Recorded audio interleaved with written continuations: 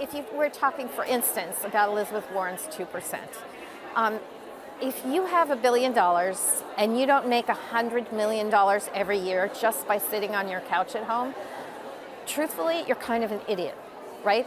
Money just makes money. It's, it's one of the hardest things in the world not to let it grow.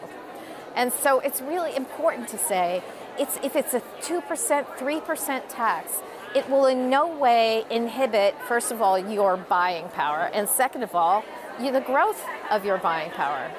It, and so I don't understand what the hesitation is around a wealth tax because it in no way encumbers a person who is already so far past being able to spend that money that, that it, it could be so much better used.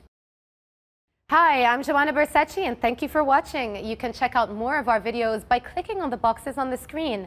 And don't forget to subscribe to our channel for more from CNBC International. Thank you for watching.